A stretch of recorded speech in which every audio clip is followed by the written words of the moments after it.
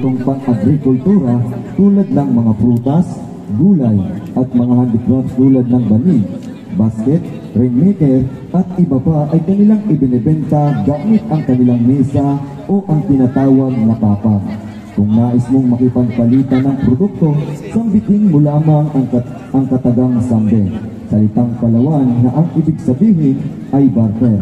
Isang patunay na, na ang daang taong tradisyon ng pangangalakal na hindi ginagamitan ng panganalapi ay buhay na buhay pa din sa ating bayan. Kaya tunghayan ninyo ang tugtog at indayog ng Departamento ng Edukasyon Pang-Elementarya ang The Home of Innovators, Kunyado!